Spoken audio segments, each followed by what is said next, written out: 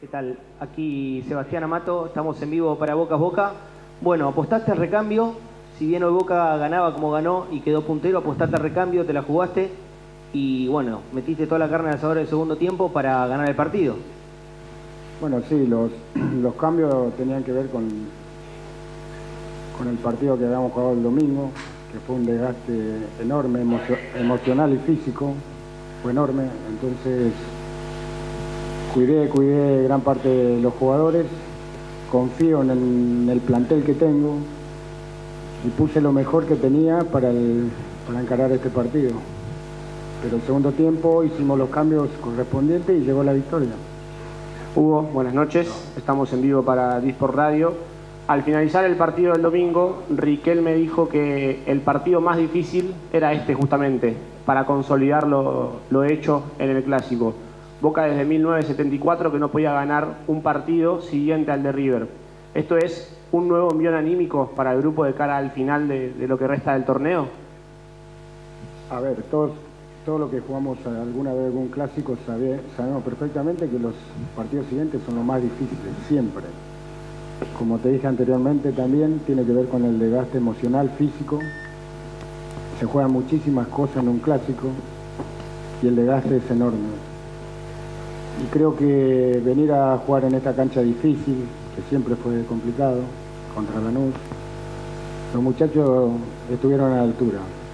Soy consciente que no fue un gran partido, pero era necesaria la victoria.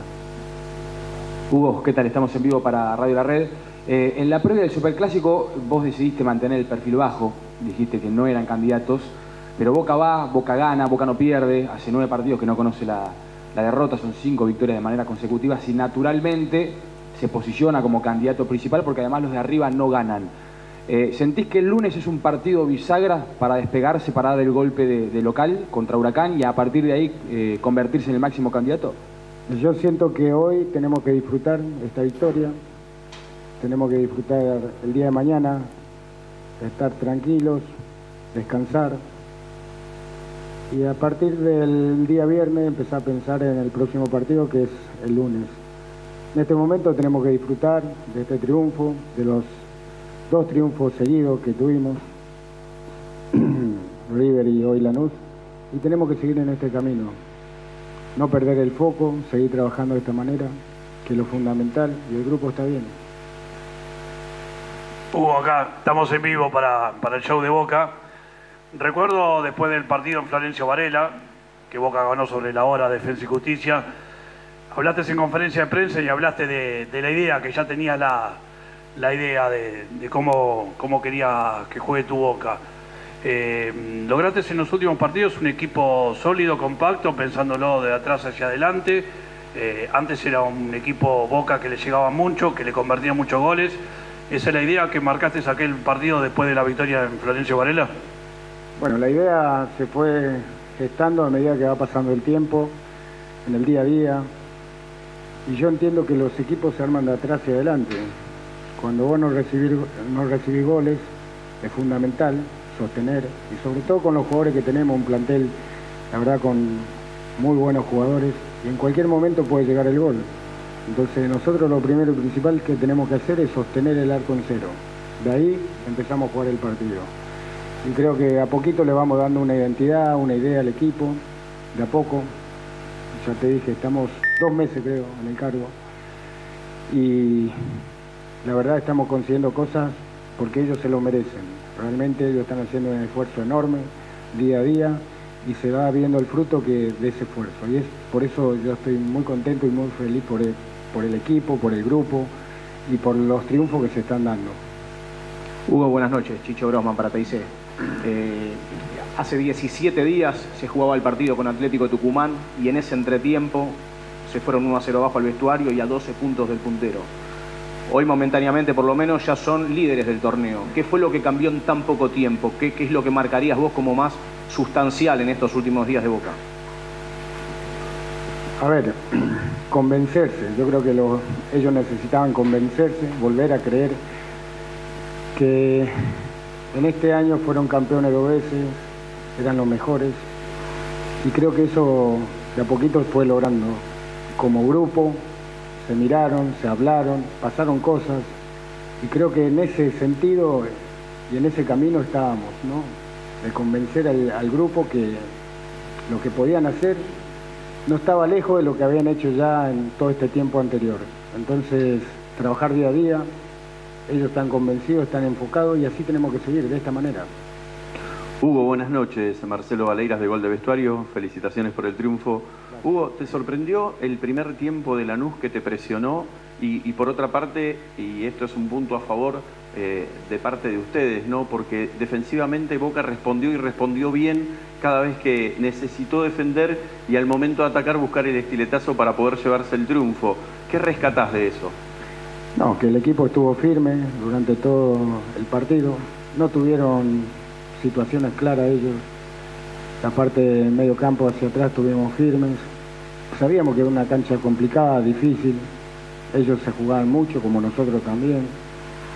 Y pudimos durante los 90 minutos tener la tranquilidad necesaria para poder lograr el triunfo. Y eso era lo que yo en el entretiempo se lo dije. Faltaban 45 minutos que, que había que sostener la tranquilidad, el juego, si bien no fuimos tan vistosos, yo sabía que en un momento podíamos llegar a golpear y bueno, se logró eso. Hugo, buenas noches acá, Luis Frugosi para Mundo Boca, ¿cómo estás? Bueno, de las últimas cinco victorias consecutivas que has logrado con el equipo, tres fueron en los últimos cinco minutos, con Atlético Tucumán, eh, el otro con defensa y, la de hoy. Eh, ¿Por qué este equipo elige creer? Han elegido creer claramente. ¿Cómo hiciste para, para convencer? Recién hablabas de creer, pero quiero que me cuentes cómo hiciste para que estos chicos crean, más allá que creo que el único que estaba quizás tan convencido de que iba a pasarte las vos. Sí, yo el, del primer minuto, el primer momento que tomé el, grupo, el equipo, estaba convencido de lo que quería y era convencerlo a ellos.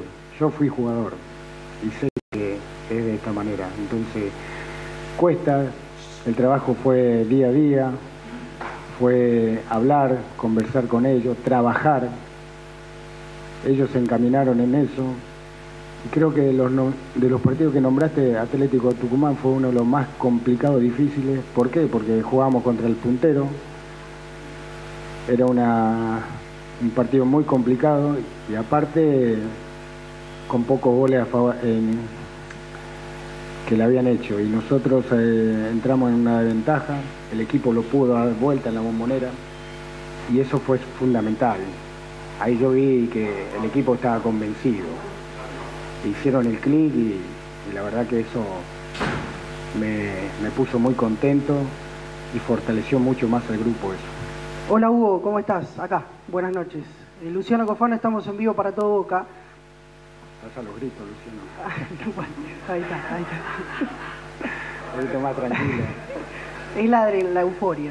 Eh, te tengo que ser 100% sincero y en base a esa sinceridad te voy a hacer la pregunta. Hay partidos en los que futbolísticamente, desde los números, las estadísticas, es difícil explicar cómo Boca gana ciertos partidos. Y la gente en la transmisión nos mandaba audios diciendo, este Boca tiene algo especial, este Boca tiene un aura. Y yo te pregunto a vos, que sos la cabeza de este grupo, ¿Boca tiene el aura de equipo campeón?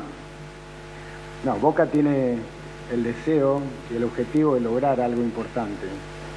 Y creo que de lo que hablamos y lo que conocemos Boca, un poco la mística de ese Boca de lucha, de pelear hasta el último minuto, se va logrando. Lo han logrado ellos, por eso felicito a todos mis jugadores porque han logrado algo increíble y esto es fruto de su trabajo el día a día.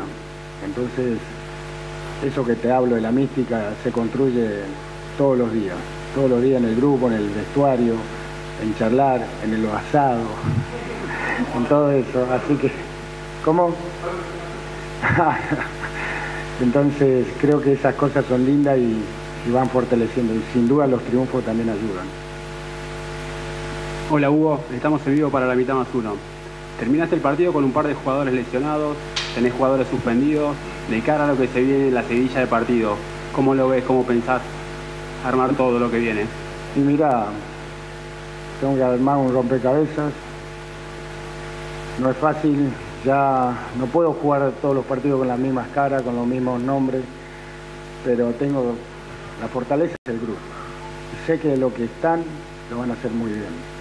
yo confío plenamente en ellos y seguramente a partir de mañana empezaré a pensar en todo lo que tienen molestia, lo que están suspendidos por llegar a la quinta amarilla. Entonces voy a disfrutar y a partir de mañana empezar a pensar en el próximo partido. Hugo, acá, buenas noches. Adri Bordón para la previa Geneise, felicitaciones por el triunfo. Quería preguntarte en base a dos jugadores. Eh, primero por los minutos que tuvo Maxi Salazar, que entró en el último trayecto del encuentro y que permitió también darle un aire fresco al equipo para que se sellara la victoria.